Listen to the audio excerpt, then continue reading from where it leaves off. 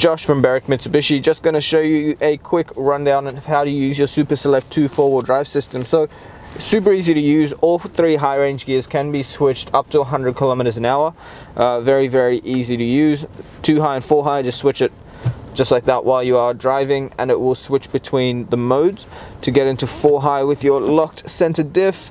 Uh, would recommend only on low friction surfaces but once again you can do that while you're moving. So make sure your car's in drive and when you turn it you will be able to just roll forward and you will hear your vehicle engaging those options even with the lock center diff. Now to get it into the uh, low range gear.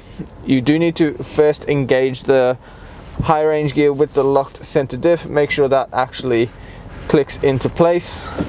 And once your center diff is locked you can uh, select your terrain. So you've got the option of mud or snow sand or gravel. So three different terrain selectors there and it will show you in your in your cluster which mode is actually engaged and then you've got your your low range gear. It does give you the instructions on how to do it. So you need to put it into neutral after you or before you turn the dial and it will engage your uh, low range gears. High torque low power. So it is great for any off-road functions you may need to use. You in the low range you also get your downhill descent control which is uh, also good to know so if you guys have any questions at all please ask us or refer to your owner's manual